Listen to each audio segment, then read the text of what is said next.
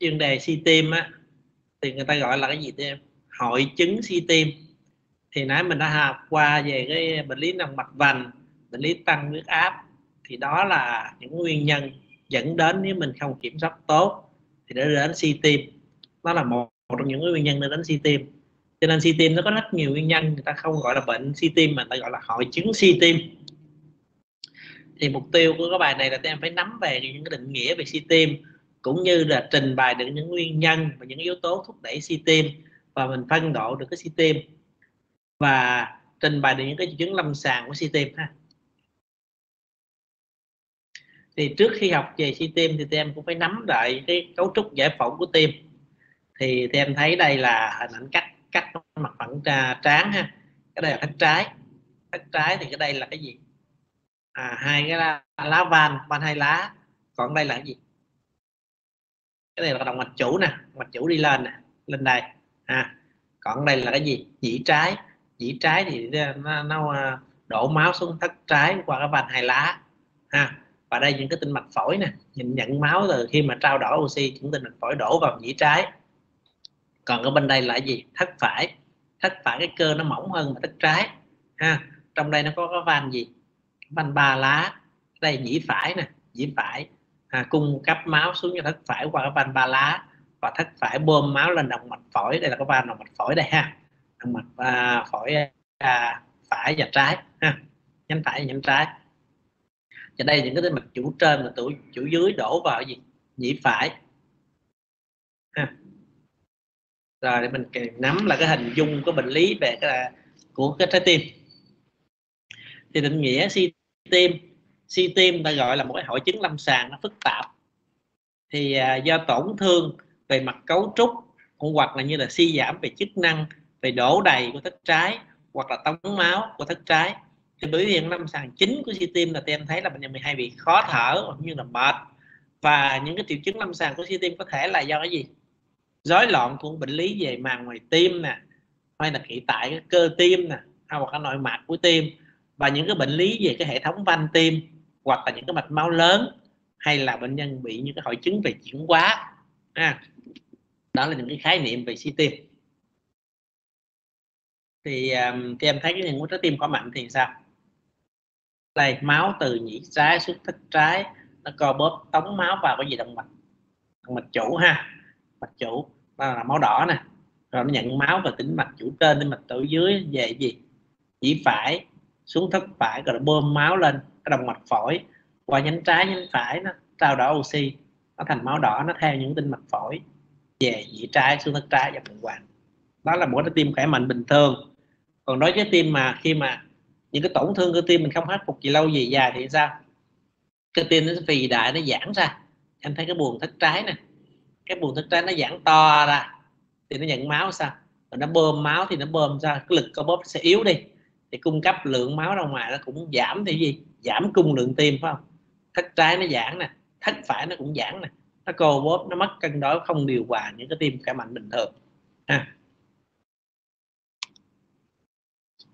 Thì à, nguyên nhân về yếu tố thúc đẩy suy tim thì suy tim hội chứng suy tim là một bệnh lý mãn tính nó diễn tiến về lâu về dài nó có những cái đợt gì? Yếu tố thúc đẩy nó tác động vô nó gây biểu hiện lâm sàng những cái đợt cấp gọi là suy tim cấp ha suy tim cấp rồi những cái xong mình giải quyết được những yếu tố thúc đẩy xong thì bệnh nhân sẽ trở về cái nền suy tim cơ bản của người ta là mãn tính. Và nếu mà bệnh nhân suy tim thì những cái đợt cấp nhập viện càng nhiều lần chừng nào thì khả năng tử vong bệnh nhân sẽ càng rất là cao. Cho nên làm sao đó với bệnh nhân suy tim mục tiêu điều trị bệnh nhân suy tim thì em sao làm sao? Là cải thiện những triệu chứng nè à, kéo dài à, thời gian sống cũng như là giảm cái số lần nhập viện cho bệnh nhân thì người ta sẽ ổn định được cái sinh trạng suy tim nha.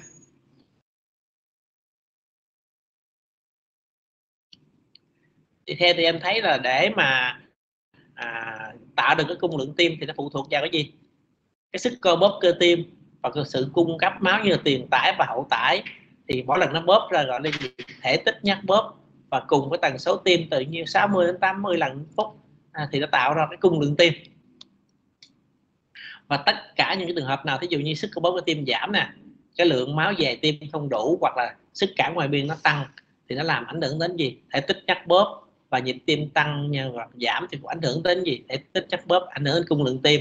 Nó gây giảm cái uh, cung lượng tim nó gây đến dẫn đến suy tim. Thì uh, khái niệm là tiền tải và hậu tải thì em thấy là tiền tải là gì? Tất cả những cái máu nó đổ vào chỉ phải xuống thất phải. Khi mà thể tích máu nó sao? Nó, nó giảm nó lượng máu tới không đủ. À, thì nó giảm cái gì? Tiền tải. Rồi hậu tải là cái gì? Là tăng sức cản ngoài biên ví dụ như động mạch à, chỉ trái xuống thất trái nó bơm máu vào động mạch chủ. Mà khi nó thành động mạch chủ cứng thì sao? Nó, nó, nó gây ra gì? Có thể gây tăng huyết áp đó. Thì cái thất trái nó bơm về lâu về dài nó bơm sao? Nó tăng lực nhiều quá thì cái thất trái nó cũng dày giãn lên. À, là về lâu về dài nó cũng dày thất trái. Rồi nó cũng dẫn đến là suy tim ha? Là tăng gánh tăng hậu tải nè. Này, tiền tải và hậu tải. Thì à, trong cái cơ tim thì em nắm những một số cơ chế bù trừ trong cái tim. Để bù trừ khi mà khi nó vượt cái mức bù trừ thì nó dẫn đến suy tim nha.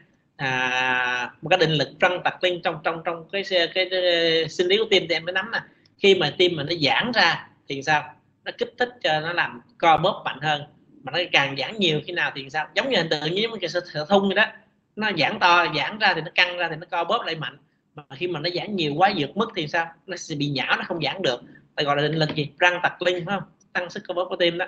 Rồi cơ tim nó phát triển nó nó co bóp nhiều nó ví dụ như bệnh nhân bị tăng áp là nó co bóp rất là nhiều gì lâu về dài sao nó phát triển nó là gì? Bù trừ là cái tim nó sẽ phì đại lên.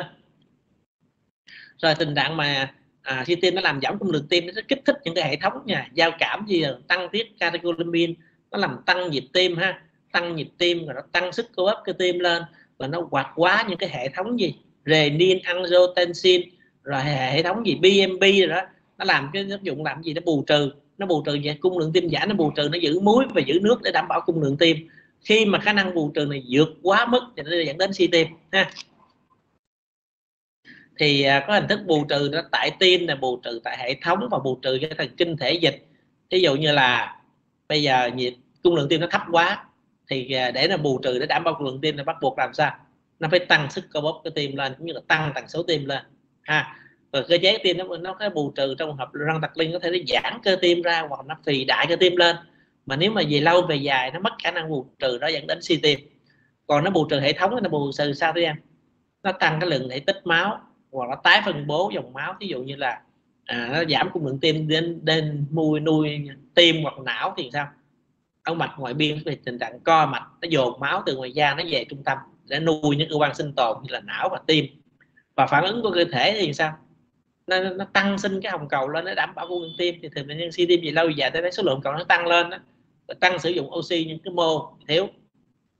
Còn hoạt động của thần kinh thể dịch thì em thấy nó tăng cường ngoài người da cảm nó làm gì? Tăng tiết catecholamine nó làm tăng nhịp tim ha, tăng sức cơ bắp nhiều hơn. Rồi hệ renin angiotensin nó tăng hoạt động nó làm gì? Co mạch nó giữ muối và giữ nước. Rồi cũng như những yếu tố mà lời tiểu nhĩ em thấy nè à, lâm sàng thì em hay đi lâm sàng là BMP đó là nó, nó, nó cái, cái men nó trong suy tim sẽ tăng lên. Đó là những cái cơ chế bù trừ ha. Và vấn đề à, suy tim nó làm giảm cung lượng tim nó làm giảm tưới máu à, những cái cơ quan à, khác. Thì nó cơ chế bù trừ nó dồn máu từ những cơ quan da cơ thận nó về tim và não những cơ quan trọng yếu để để để mà nó nuôi những cơ quan trọng yếu. Còn vai trò của thần kinh giao cảm catecholamine là gì nãy nói rồi. Nó gây co mạch ha. Nó co mạch để đảm bảo nuôi nuôi máu à, ở não và cũng như mạch vành và hoạt động của hệ renin angiotensin aldosterone nó giữ muối giữ nước lại. Nó cơ chế bù trừ thôi. Đây là một cái cơ chế sinh lý sinh lý bệnh nè. Anh thành anh ta ví dụ như là bây giờ à, đây là triệu chứng của suy tim ha. Khi mình đến suy tim có thì nó xảy ra thì sao? Nguyên nhân gây suy tim ví dụ như cái tổn thương bệnh lý gì cơ tim nó làm gì? Giảm sức chức năng cơ bắp cơ tim. Nó giảm cung đường tim nó mới kích thích cái hệ thống bù trừ là hoạt động của thần kinh giao cảm thể dịch nó phóng thích những cái renin angiotensin catecholamine làm tăng nhịp tim tăng sức bóp tim. Và nó còn gây co mạch và để tích máu cũng tăng lên. Và nó gây làm gì? Góp phần làm tăng tiền tải ha để nó giải quyết tình trạng suy tim. Mà mấy những cái này nó diễn biến về lâu về dài nó không hồi phục được nên cơ chế nó mất bù trừ ha. Thì cơ tim nó phóng thích catecholamine trong cái hệ thống mà à, thần kinh giao cảm nó tăng nhịp tim tăng sức bóp tim về lâu về dài nó cũng góp phần làm gì?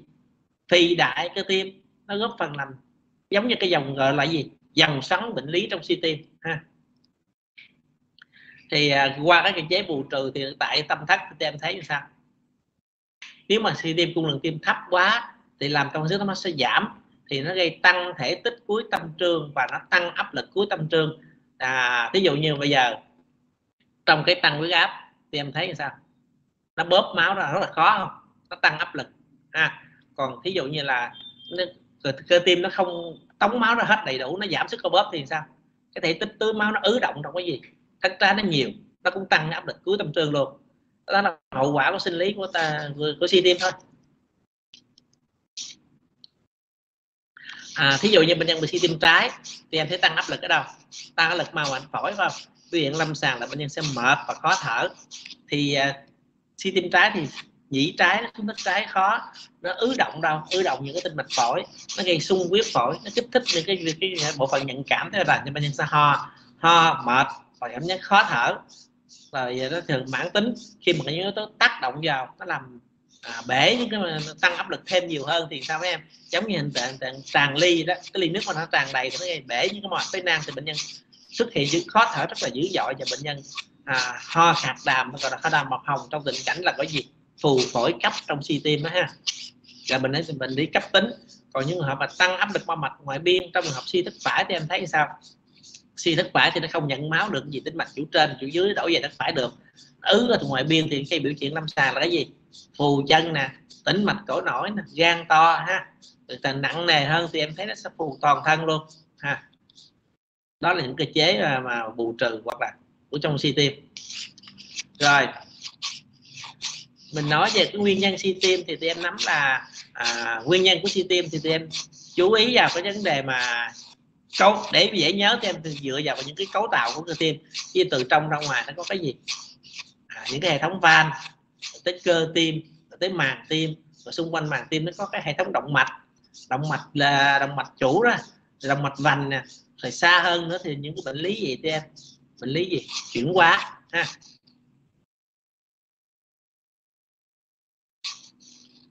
Trong cái suy thì em nghĩ đến vấn đề tăng tiền tải và tăng hậu tải thì sao?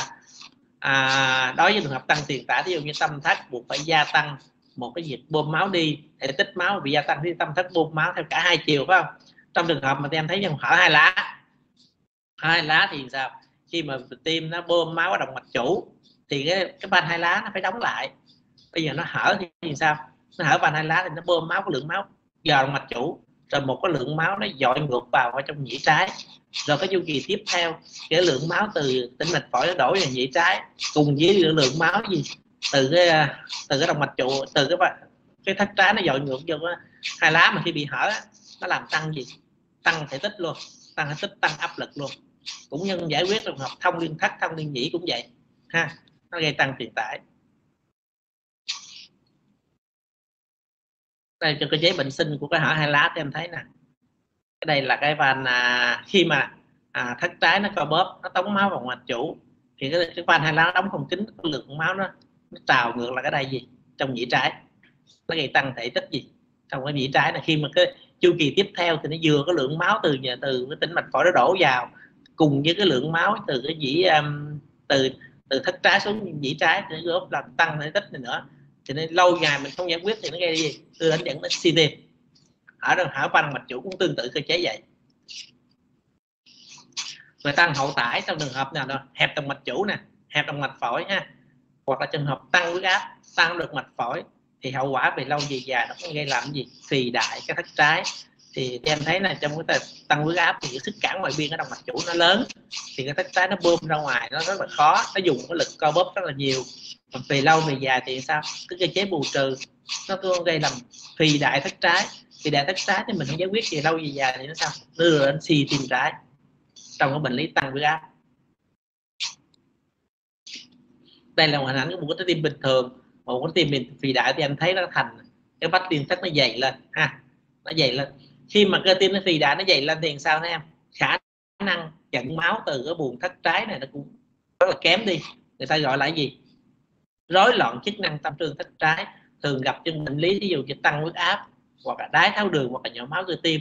Ta gọi là ừ, suy chức năng tâm trương đó, chứ không phải chức năng tâm thu, ha. Chức năng tâm thu tức là cái lượng máu nhận về bình thường mà khả năng co bóp của tim nó bị giảm, cơ tim nó bị tổn thương thì nó tống máu ra, nó không hết thì nó con không co bóp được rồi là suy chức năng tâm thu còn khi mà nó cái buồng là thất trái nó bị giảm thể tích thì nó nhận máu gì không đầy đủ để đảm bảo cung lượng tim cho, cho chu kỳ sau thì gọi là cái gì? Suy chức năng tâm trương ha.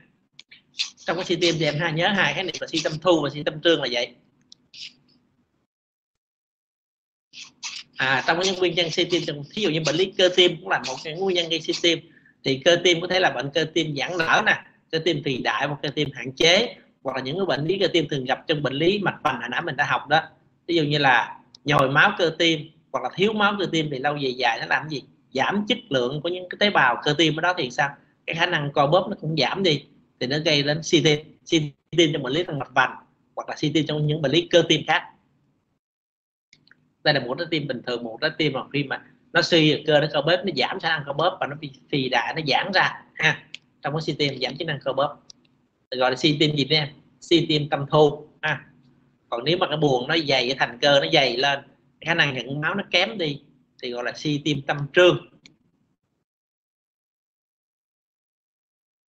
Đó cái từ cái từ mà rối loạn chức năng thư giãn thất trái là giải thích cho trường hợp mà suy chức năng tâm trương đó em. Khả năng thư nhận máu về rất là kém. À, trương mà thất trái nó bị giảm khả năng giãn nở để nó nhận máu về rất là kém cho nên giai đoạn chu kỳ sau nó bóp máu là không đủ đảm bảo cung lượng tim thì gọi là suy chức năng tâm trương. Ngoài những nguyên nhân suy tim ra về cái bệnh lý cơ tim nè bệnh lý van tim nè bệnh lý mạch vành ha rồi những cái hoặc là những cái bệnh lý gì chuyển hóa mình chú ý tới ví dụ như là cường giáp hoặc là thiếu uh, vitamin B1 và hoặc là những cái trường hợp mà à, thông liên à, thông động tĩnh mạch hoặc là trường hợp thiếu máu mảng về lâu dài dài. Tấm gây gây suy tim được gọi là xếp loại là suy tim cung lượng tim cao hoặc là suy tim rối loạn chuyển hóa. Đó là những nguyên nhân về suy tim.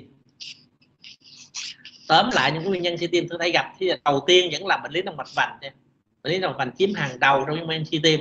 Ví dụ một bệnh nhân 40 tuổi 50 tuổi vào viện với mình với những những suy tim, thì tôi mới nghĩ bệnh lý nguyên nhân mà thường gặp nó là bệnh lý động mạch vành.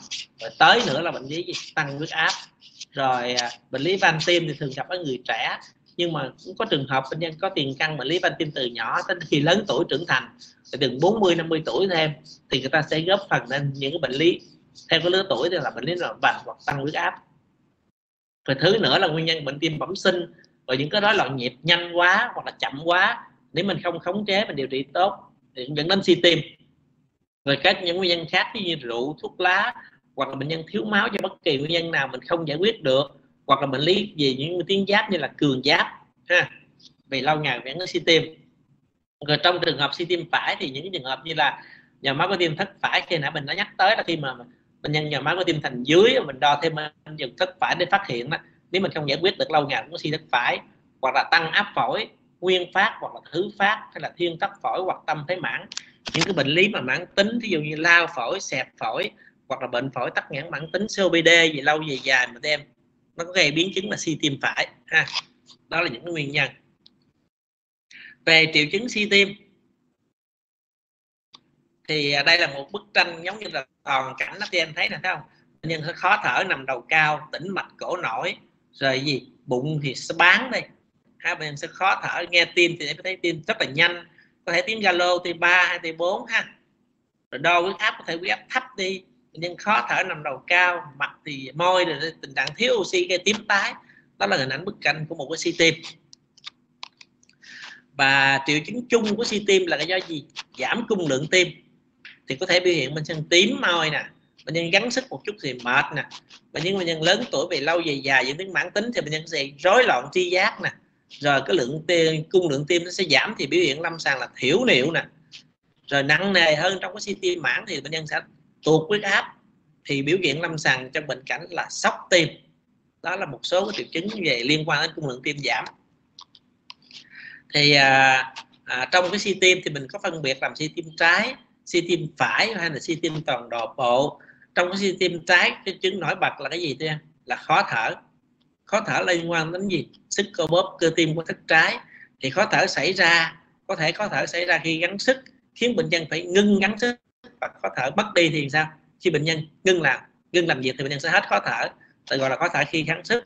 Khi mà bệnh nhân đã diễn tiến nặng rồi á, tình trạng gắng sức à, ngày càng nặng thì khó thở xuất hiện thường xuyên hơn.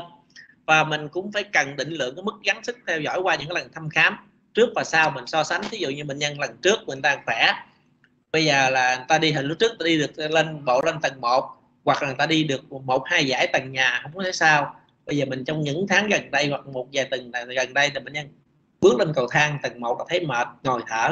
Hoặc là bệnh nhân đi qua một hai tầng lầu thì bệnh nhân một hai giải nhà thấy mệt. Tức là mình có cái sự so sánh so sánh để mình đánh giá mức độ khó thở người ta có thể tăng dần hay không. Ví dụ như trước ta kinh cái, cái thùng nước năm ba năm mười lít thì không sao. Bây giờ một hai tuần nay ta thấy tôi kinh năm mười lít tôi cảm giác thấy mệt. Đó là tình trạng khó thở khi gắng sức cũng như là khó thở tăng dần để mình có mức độ để so sánh ha. Đó, đánh giá thì cầu thang lẫn đi một số ký ha. Cái này mình đã nói rồi. Rồi, một khó thở thứ hai trong cái suy tim ờ, trái là khó thở khi nằm nè. Em thấy bệnh nhân sẽ khó thở khi nằm, hoặc bệnh nhân sẽ ngồi dậy sẽ hết khó thở. Thì xuất hiện khó thở khi nằm, khi gắng sức, thì ờ, mình thấy bệnh nhân nằm thì hỏi người ta nằm sao? Phải kê gối lên. Ban đêm người ta nằm suốt ngày mệt, khó thở, người ta phải kê cái gối lên, hai ba cái gối mới dễ thở hơn thì cơ chế khó thở này là sao em? Khi nằm thì cái lượng máu nó dồn đều về cái tim. Khi mình à, ngồi dậy thì sao cái lượng máu nó gì theo cái trọng lực nó dồn xuống cái chân thì nó giảm gánh nặng cho tim thì bệnh nhân sẽ bớt khó thở hơn ha. thì cơ chế mình đã nói rồi. Rồi trong khó thở do tim người ta còn khó thở kịch phát về đêm nữa thì bệnh nhân đang ngủ thì thức giấc dậy cảm giác khó thở. Và sau khi ngồi dậy thì bệnh nhân sẽ bớt khó thở hơn và sau một lúc thì bệnh nhân sẽ dễ chịu và có thể đi ngủ lại. Thì à, trong cơ chế suy tim trong à, có giải thích cơ chế suy tim về đêm khó thở về đêm là khi bệnh nhân nằm ngủ thì sao? Cái lượng máu nó dồn về tim nhiều hơn nó tăng tải cho tim. Mà trong khi chức năng khả và khả năng của bóp tim nó giảm rồi thì lúc đó bệnh nhân sẽ mệt và khó thở. Và người ta còn nói thêm là khi mà về, về đêm thì sao? Cái hệ thống à, hoạt động của thần kinh hô hấp nó kém nhạy cảm về đêm. Và nó không nhạy cảm với những kích thích do giảm oxy máu. Thì um, nên những cái cơn thường xảy ra đột ngột khi ngủ và sức đề kháng từ trong trong đêm nó cũng tăng lên cũng giúp góp phần làm cho bệnh nhân khó thở. Thì uh, nặng hơn trong cái khó thở về đêm là cái gì? Cơn hen tim và phù phổi cấp. Thì hen tim là tình trạng khó thở rất là dữ dội thì bệnh nhân có thể có khò khè và mình nghe phổi có những cái tiếng rít. Còn phù phổi thì là tình trạng là nãy rồi mình đã giải thích là cơ chế là do thoát dịch từ mao mạch vào trong cái phế nang nó làm giảm khả năng trao đổi oxy thì bệnh nhân sẽ khó thở đột ngột dữ dội và bệnh nhân sẽ sự tím tái ha, rồi ho, sặc sụa, đàm thì sao? Đàm có rất là nhiều bọt hồng đi, mình nghe phổi thì lúc đó đầy ra hết. Tức là khó thở là trong phù phổi cấp là tình trạng là nặng nề hơn của cái hang tim. Hang tim thì à, chưa đến nỗi mà dở mà mệt phế nang bệnh nhân mà dần mệt và khó thở ha, đó là những viên nặng của trong cái si tim đó tóm lại trong cái si tim trái thì em có triệu chứng thường gặp tức là gì? Mệt và khó thở. Thì trong khó thở những khó thở khó thở gắng sức là khó thở thường xuyên này, hay khó thở kịch phát về đêm. Và nặng nề nữa là bệnh nhân có biểu hiện lâm sàng là cái gì? Cơn hen tim hoặc là phù phổi cấp. Và lúc đó thì em thăm khám thì có thể thấy cái bóng tim nữa sao? Cái mỏng tim nó lệch qua đường trái cái là diện đập tim rất là rộng. Và em có thể nghe tiếng tim rất là nhanh nhanh có thể tiếng galo và thậm chí em nghe được tiếng thổi tâm thu của hở van hai lá rồi kết hợp lâm sàng với tình trạng ứ động phổi, mình có thể nghe ra ẩm ở phổi. Ha, đó là trường hợp oxy tim trái và dựa vào chứng cơ năng và chứng thực thể. X quang làm ngực thì em thấy một bóng tim sẽ to, lớn. Có tình trạng ứ động những cái mà, những cái phù mô kẻ trong cái si tim.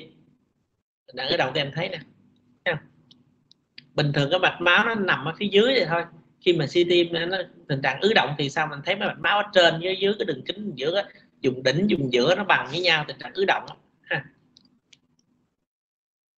rồi trong cái suy tim mình cũng phải cần đo cái điện tim mà thường điện tâm đồ nó cũng không đánh giá trong suy tim có thể biểu hiện lâm sàng là nhịp tim rất là nhanh, ha, hoặc là có thể là nhịp chậm, hoặc là những cái rối loạn nhịp tim trong cái suy tim và trong suy tim thì em cũng cần đánh giá qua cái vấn đề siêu tim để đánh giá chức năng co bóp cơ tim, gọi là EF đó bình thường ép bao nhiêu nó trên 55 55 tức là khả năng co bóp của tim đó. Khi mà người ta đo xem tim người ta đo cái đường kính của thất trái thì tâm thu và thì tâm trương ha. Thì thường mình đo xong cái đó thì cái máy nó tự động nó tính. Nó ra khả năng co bóp của thất trái là bình thường trên 55 mà nó dưới 40 thì gọi là suy tim. Mà trong si tim người ta có phân biệt là si tim à, với phân sức tống máu là thấp bảo tồn là si máu, máu giảm nặng nó chia là mức độ, thí dụ như si tim mà dưới 30 là gọi si tim phân sức si tim phân sức tống máu giảm nặng. Là từ từ 30 đến 40 dưới 40 và từ 40 đến dưới 50 thì gọi là sao? Si tim với phân sức tống máu dạng trung gian hay là nhẹ. Còn nếu mà si tim triệu chứng lâm sàng bệnh nhân, khó thở, mệt, ha. Nhưng mà phân sức tống máu người ta đo trên 50 thì gọi là si tim phân sức tống máu bảo tồn. Đó là những cái khái niệm về đánh giá si tim dựa vào cái siêu âm tim thì cũng cung cấp cho tụi em nắm để sau này mình đi lâm sàng, mình gặp những cái điện tâm đồ những cái siêu âm tim kết quả vậy mình dựa vào triệu chứng lâm sàng bệnh nhân mệt, khó thở ha với biểu hiện của si tim trái. Mà siêu âm tim mình thấy vậy thì mình có thể phân biệt bệnh nhân là si tim mà là si tim mà phân xứ tăng máu, bảo tồn hay siêu âm máu giảm nhẹ hay là giảm nặng. Đây là hình ảnh của siêu âm tim thì em thấy nè. Đây là thất trái nè, nó giãn to nè, là nhĩ trái nè này nhĩ phải, thất phải ha này trường hợp hở van ba lá này anh thấy cái dòng máu xưa nó lơ màu dòng máu nó đóng van ba lá đóng lại mà nó vẫn có cái dòng hở nó, nó phục từ gần tới hết cái cái đáy của nhĩ trái phải luôn. Đó là xong cái phần thi tim trái. Bây giờ mình qua cái si tim phải. Thì à, uh, si tim phải là do tăng kháng lực à, đối với sự tống máu của thất phải. Thì em có thể gặp trong trường hợp mà tăng áp lực động mạch phổi có thể là nguyên phát hay là thứ phát. Thì um, hoặc là bệnh nhân bị suy tim trái về lâu về dài, nó cũng dẫn hưởng đến suy tim phải, hoặc là bệnh lý van hai lá ha. Rồi trong trường hợp mà thiên tắc phổi thì gì bệnh nhân có những cái biểu bệnh tiền căn và thiên tắc phổi lâu ngày thì ra sao? Diễn tiến gì lâu về dài nó tăng áp lực động mạch phổi, nó cũng đưa đến suy thất phải. Hoặc là bệnh lý mà hiếm gặp trong bệnh lý van động mạch phổi như là hẹp van hoặc là hẹp phỉu động mạch phổi nhưng mà nó hiếm gặp thôi thì uh, triệu chứng lâm sàng của thi thất phải thì em thường là tình trạng biểu hiện và xung huyết trên hệ thống hệ thống tĩnh mạch chủ trên tĩnh mạch chủ dưới đổ vào về nhĩ phải xuống thất phải. Thì trong uh, uh, biểu hiện lâm sàng của tim phải thì em thấy là sao? Thì bệnh nhân sẽ phù hoặc là bệnh nhân cân nặng thì sẽ tăng tăng cân nè phù ngoại biên nè phù chân nè rồi diễn tiến về lâu về dài là bán bụng nè rồi mình khám gan gan sẽ to lên nè tĩnh mạch cổ nổi nè. Đó là những biểu hiện lâm sàng của gì? Si tim phải gan đau dùng tim đau tức gan to là phản hồi gan tính mạch cổ của mình nổi dương tính ha phù mắt cá chân ha cái biểu lâm sàng của phù của, của, của si tim phải. Thì về cơ năng của si tim phải thì em cũng có triệu chứng như mệt và có thở giống như si tim trái và cũng có biểu hiện như là khó tiêu nôn ói. Mà thực thể thì em khám cái tim mạch cổ nổi là gan to là có thể bán bụng dấu hạt xe dương tính nhịp tim rất là nhanh thì à, mỗi cái đợt phù kèm với tăng cân và tiểu ít thì khi mà em điều trị ví dụ như điều trị bằng à, điều trị suy tim nó ổn định lại dùng thuốc lợi tiểu thì bệnh nhân sẽ sao? Sẽ giảm bớt mệt và khó thở và giảm bớt phù. Và bệnh nhân sẽ trở lại cái tình trạng suy tim lúc ban đầu của người ta. Em thấy đây hình ảnh này chân nó phù ha tính mạch cổ nội sỏ tư thế nằm đầu cao của bệnh nhân đây. Rồi si tim mà vừa biểu hiện của si tim trái và si tim phải thì ta gọi là si tim toàn bộ. Ví dụ như xuất hiện của si tim phải, một bệnh nhân si tim trái trước đó ha. Nè, vì lúc đó đầy đủ luôn. Thì bệnh nhân vừa khó thở khi gắng sức nè. Phù chân thì bệnh nhân sẽ mang dép thì những ngày gần đây hoặc là một vài tuần gần đây thì bệnh nhân mang dép thì bị chặt đi nè. Rồi mệt thì bệnh nhân mà gắng sức thì hay mệt nè. Khó thở phải nằm đầu cao nè. Rồi về lâu về dài sẽ bụng to nè. Ăn uống khó tiêu bệnh nhân sẽ ho thường thường là ho khang khang nè. Khi nào nó có mình những cái mạch phế năng nó bể ra thì sao? Nó gây ho ra máu ha, nặng nề thì mình sẽ khó thở dữ dội, tình trạng có phù phổi cấp nè. Bệnh nhân ảnh hưởng thì bệnh nhân khó thở nhiều về đêm thì bệnh nhân sẽ tiểu đêm nè. Rồi diễn tiến về lâu bệnh dài, bệnh nhân sẽ bị lú lẫn, giảm trí nhớ ha. Đó là những cái bức tranh về cái si tim, kể cả si tim trái, si tim phải hay là si tim toàn bộ rồi đối với trường bệnh nhân suy tim về dựa vào triệu chứng lâm sàng của suy tim trái suy tim phải suy tim toàn bộ thì em cũng cần nắm là những cái yếu tố thúc đẩy suy tim. Ví dụ như là tình trạng nhiễm trùng có thể nhiễm trùng đường hô hấp nhiễm trùng da hoặc là nhiễm trùng đường tiêu hóa tiết niệu. Thì bệnh nhân thường bệnh nhân có suy tim nó giảm cung lượng tim rồi những yếu tố góp phần vô à, tăng chuyển hóa tăng nhu cầu thì là nặng thêm tình trạng suy tim hoặc là rối loạn nhịp tim. Ví dụ nhịp tim nhanh quá nhịp tim chậm quá hoặc là rối loạn nhịp hoàn toàn, hoặc là bệnh nhân đang điều trị bằng thuốc, bệnh nhân không tuân thủ điều trị bằng thuốc ví dụ như uống thuốc không liên tục, không đúng liều, không đúng chỉ định, hoặc là bệnh nhân ăn mặn nhiều quá như những suy tim từ 3 độ 4 bệnh nhân không hạn chế muối và hạn chế nước, ha. Hoặc là có bệnh nhân có bệnh lý cảnh nào kết hợp vào nhưng góp phần làm nặng thêm cái suy tim ví dụ như bệnh nhân vô một cái cơn nhồi máu cơ tim cấp hoặc thiên tách phổi hoặc là những cái bệnh lý khác ảnh hưởng đến ví dụ như là bệnh nhân thiếu máu do bất kỳ những nguyên nhân gì xuất huyết hay là tán huyết hoặc là bệnh lý về máu hoặc là bệnh lý về tuyến giáp như là cường giáp kể cả bệnh nhân bị thai kỳ hoặc là trong những đã bị viêm cơ tim hoặc là nhỏ viêm nội tâm mạch nhiễm trùng.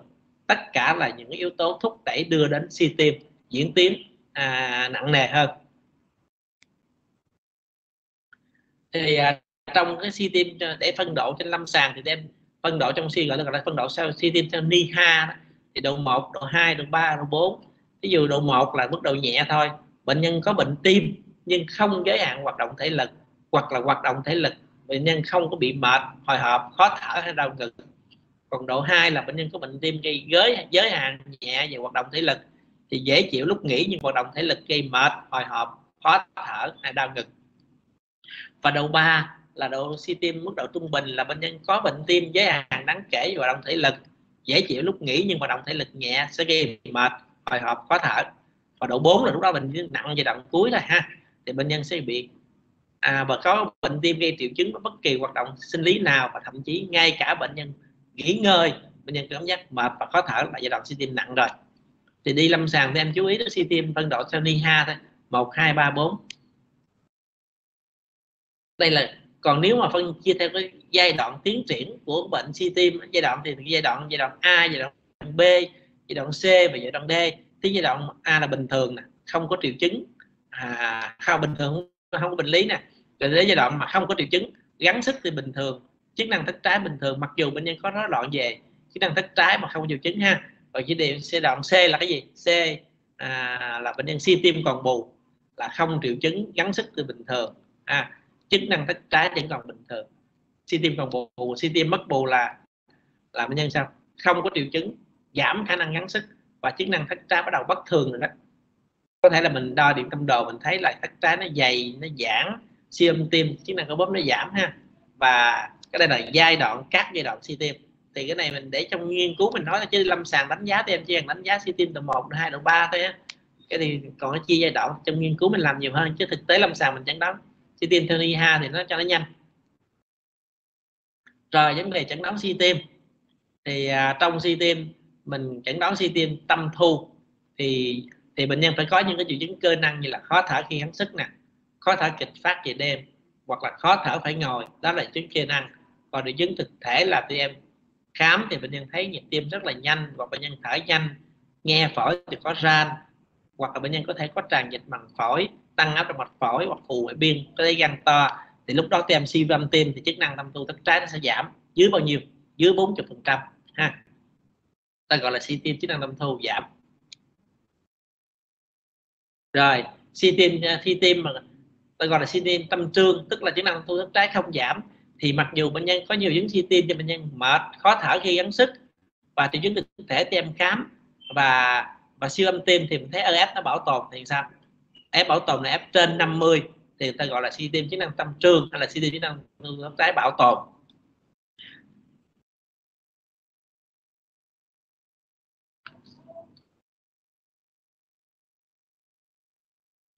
Đây là phân loại cái bản phân loại cho em xem lại cái phần phân loại suy tim dựa theo EF khi mà mình đi xem tim đó thì um, CM suy tim với phân sức tống máu giảm thì là dưới 40 là gọi gọi là suy tim tâm thu còn suy tim với phân thức tống máu bảo tồn lại như EF trên 50 và bằng 50 còn gọi là suy tim tâm trương ha.